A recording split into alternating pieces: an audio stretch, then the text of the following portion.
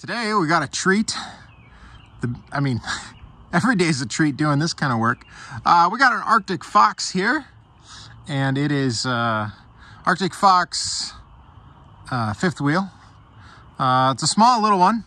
Uh, this is fitting our driveway. We've had ones coming all the way up to here. So, uh, but I think about the smallest fifth wheel they make.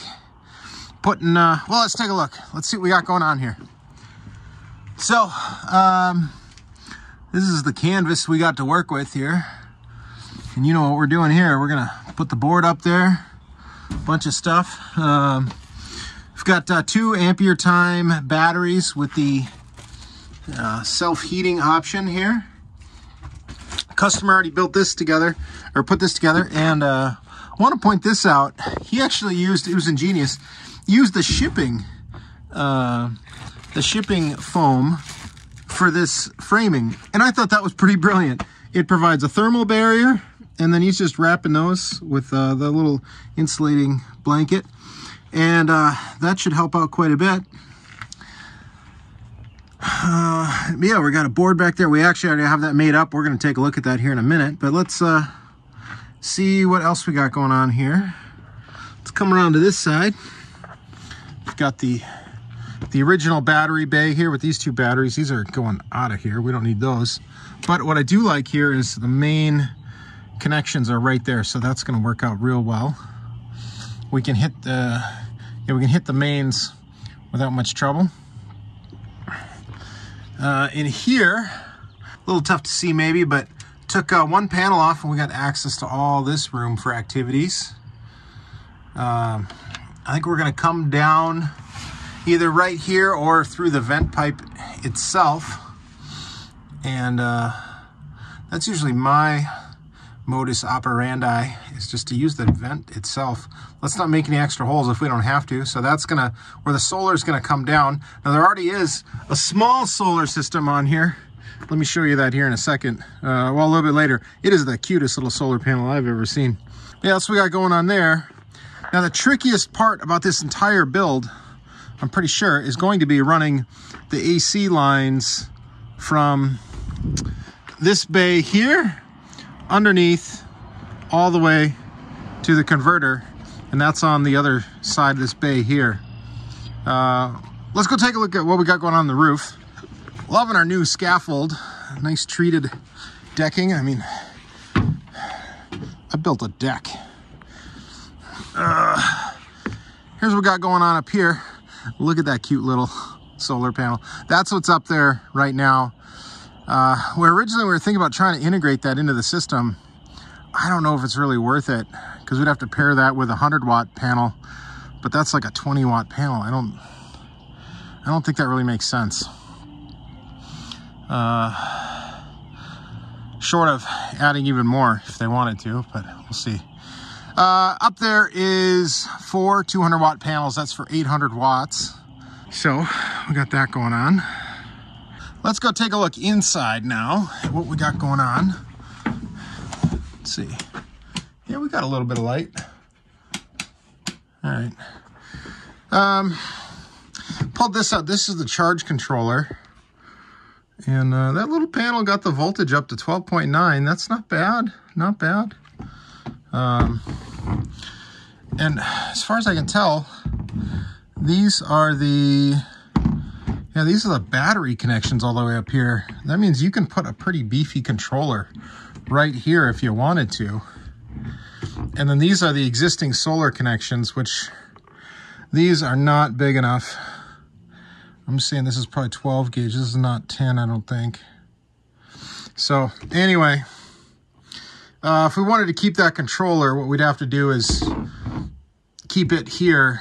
And uh, what else is going here is a Cerbo display. But we'll get to that here in a minute. I tell you what, these Arctic Foxes, I mean, look at this. This is beautiful.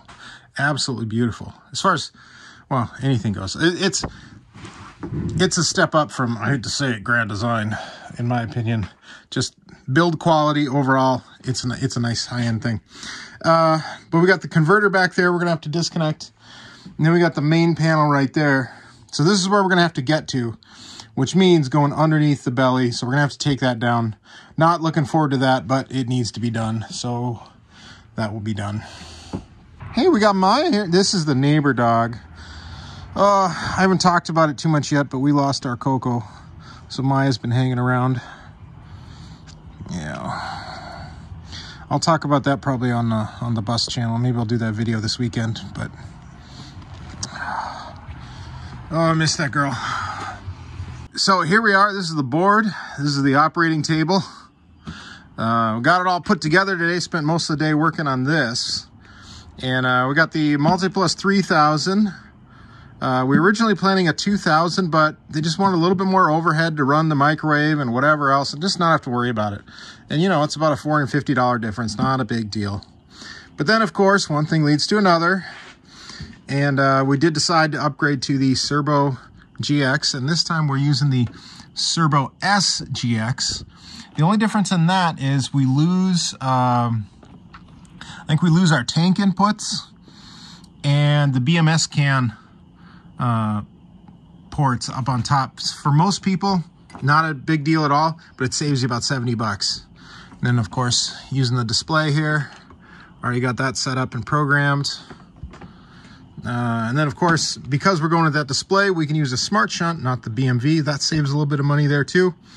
Uh, you know, I mean, the cost on the Cerbo display itself, uh, Cerbo GX and display, you know, on paper with the S is like 550, but um, when you use the reduced cost Cerbo GXS and you swap out a couple other components, like you can use the Blue Solar charge controller instead of the Smart Solar, that saves you a little bit of money.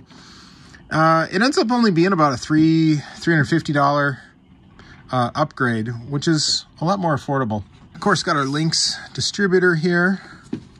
And uh, show you, I made a couple of changes in here. Of course, we got our little cable in here to make the lights light up. But uh, I got a bright idea decided to start putting my negative on this terminal and all my positive wires on this terminal. Before I was just, you know, kind of following the crowd and going with that one. Um, but then it was just a mess of cables right there. So I'm liking this a little bit better. Then, uh, of course, we've got our main fuse there. And uh, got the lab power supply giving it power. So we just got done programming it all. And next, uh, this is going in.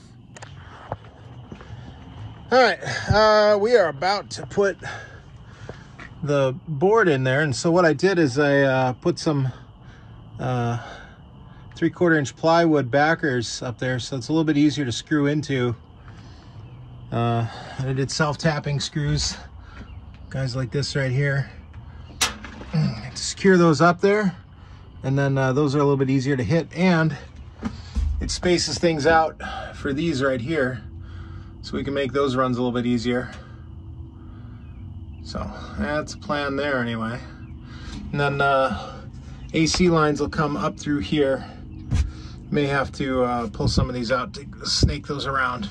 But anyway, let's get uh, let's get that up there. All right, quick little morning update. Got uh, this all installed. Got our mains connected here. We just went right up the cable wrap. Got the batteries out. Got uh, some connections made here and and oh, who's this guy? Straight oh, from good morning. Straight from Arizona. Oh man, it was a tough flight. My arms are tired. Uh, JD, it's good to have you back. Well, I know it's good to be back. It's not freezing up here anymore. Yeah. So I'll take it. I'll take it. This morning it was 50. It's going to be 70 today. So just updating uh, everyone on the YouTube here where we're at on this project. As you can see, we got that in there. Looking nice. Yeah, it's going. It's coming together. And uh, the fun thing we got to do today is uh, run our AC main, solar, all the way down here, and and the uh, Cerbo display data lines. And then uh, get the panels taken care of up top and all that stuff. And then I think uh, we can send this guy home. Oh yeah, I like the sound of that. Yeah. Oh, this is it, folks. We're in the thick of battle here. We've got uh, the solar wires ran through there, got the data lines here. running the uh, AC lines here, and we got this nice cabinet compartment that's uh, for utility access. You can almost add a cabinet in there if you wanted to. But we got uh, JD's down here doing the real work. Taking a nap. He's uh, and we're running the the AC lines underneath the good insulation on these Arctic Foxes, and we got another set of fish sticks. I think to, to Shooting that way, yep. Yep. I'll show you where there. that's coming out. Oh, oh, finally hit my head. You bleeding? No, not yet. Good job. So it's gonna come out here. Hopefully I didn't pull that in the way it shouldn't be. Um, but yeah, you can see the solar and data lines here. We'll just coil these up, put them back there. And we'll run them all together in a piece of cable wrap up there. Come out there, we're home free. Well, almost home free.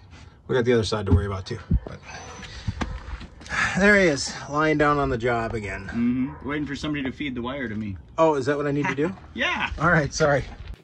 JD wasn't able to stay too long, but he did to help uh, with the really hard parts. And uh, take a look at this beautiful night shot as we close on another successful day. Well, today we are wrapping up the Arctic Fox here. Let's uh let's see where we're at and uh review our progress. We're on the final day of our Arctic Fox here. So, let's uh take a look at where we're at, what we're doing, what we got left. It's not much, to tell you the truth. Uh, here's our uh, lovely board situation here. Um, added the, of course, the little LED strip back there. It definitely gives some lighting to this compartment because for as nice as Arctic Fox's builds are, they don't put up light in here. So this is actually pretty functional, not just for style. Then, uh, yeah, got our light going there, fuse, 600 amp disconnect, uh, multi-plus, all that's going. Tested, did a, uh, air conditioner load test on it. Ran that for about an hour or two while I was wrapping up some stuff inside.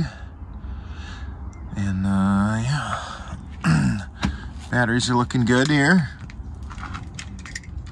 Then inside this bay here, we've got, uh, yeah, we ran everything. You can kind of see in there a little bit. That's where everything comes up. Put uh, everything in conduit there, and then it goes right into that hole. Wouldn't even know we did anything in there. JD finished up that, got that put back together. Down there.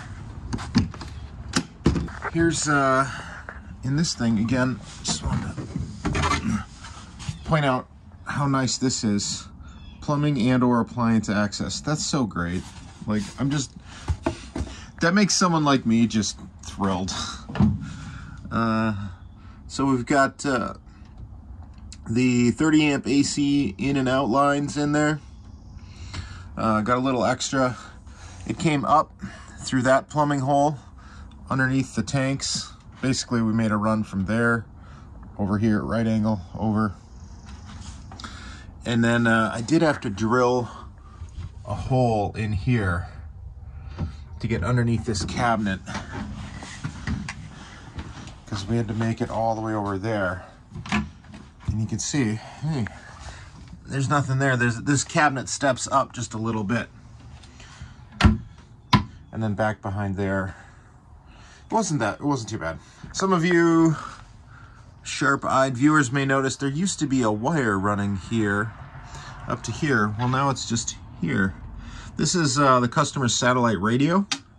And before it was all basically like velcroed to this and that wasn't very nice so we just took this opportunity to run that hidden for him if we can do stuff like that we will definitely do it. And let's see where we're at here. Well, it's not too bad. Got uh yeah got our monitor here again. This is what used to be there. This uh charge controller. This is the actual charge controller right on the wall. I feel like that's kind of weird. Whatever. Uh, we were at 55% and or sorry we were at 100% yesterday Uh, but I ran the air conditioner and now I figured let's uh, let's just let solar charge it up today uh, while we're working on it and before customer picks it up. And that was really easy, just straight down this wall. Uh, it was a little tricky getting the solar uh, wires because we ran new ones. Uh, we went right in between, there's two vent pipes there, went right in between it.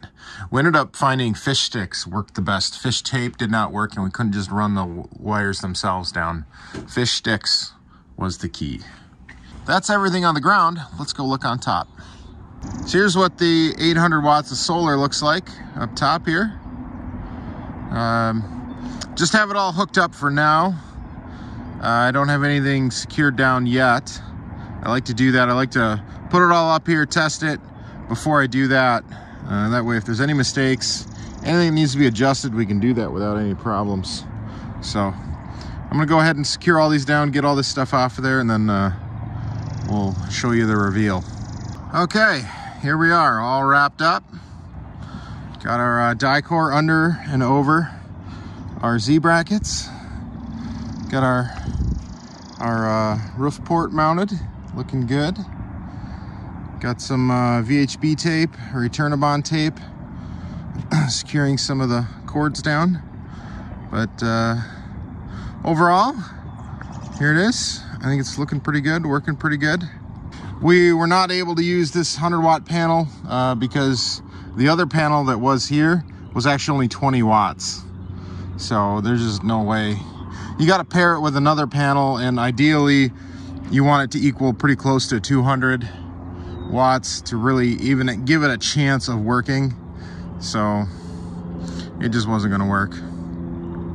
Anyway, I'm going to get down from here, get the rest of our stuff down and and uh, we're to get this one out the door. Well, I think that'll about do it for us here at uh, Sota Solar.